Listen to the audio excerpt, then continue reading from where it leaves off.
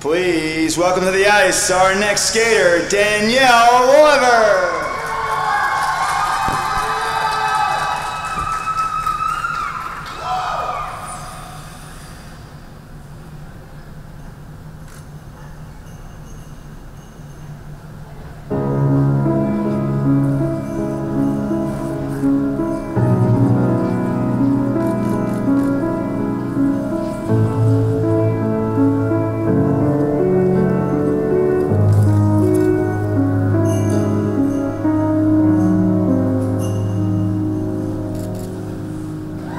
Mm-hmm.